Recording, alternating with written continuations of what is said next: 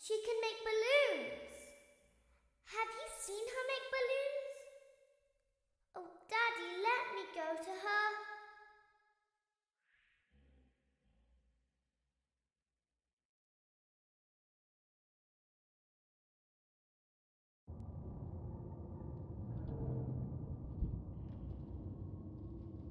Shh, be still and quiet.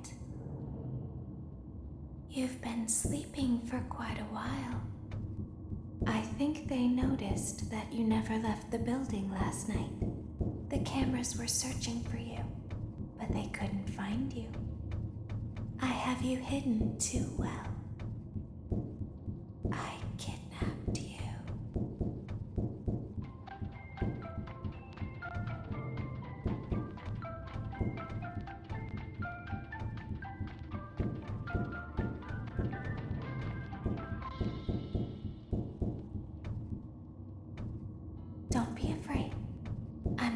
To hurt you. I am only going to keep you for a little while. Try not to wiggle, though. You're inside something that came from my old pizzeria. I don't think it was ever used. At least, not the way it was meant to be used. Too dangerous. It's just big enough for one person to fit inside, but just barely. You're in the scooping room. Do you know why they call it the scooping room? It's because, dummy, this is the room where they use the scooper. I thought that would be obvious. Isn't that a fun name for something?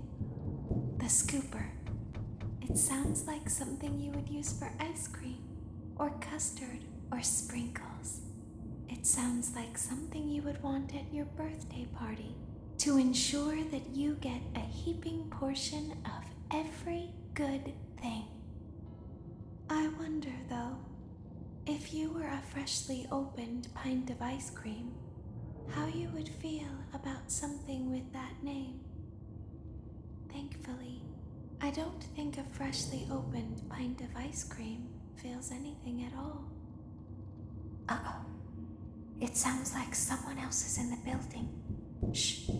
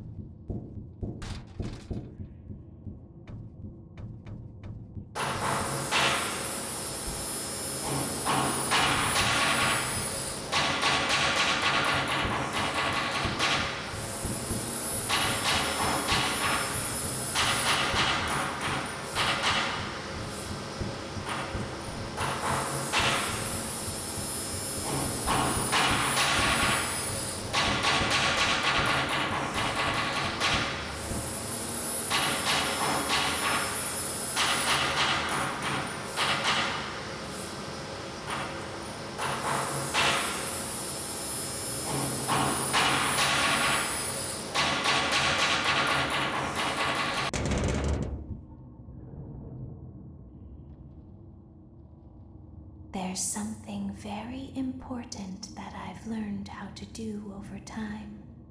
Do you know what that is? How to pretend. Do you ever play make believe? Pretend to be one way when you are really the other. It's very important. But Laura never learns. But I do. They think there is something wrong on the inside. The only thing that matters is knowing how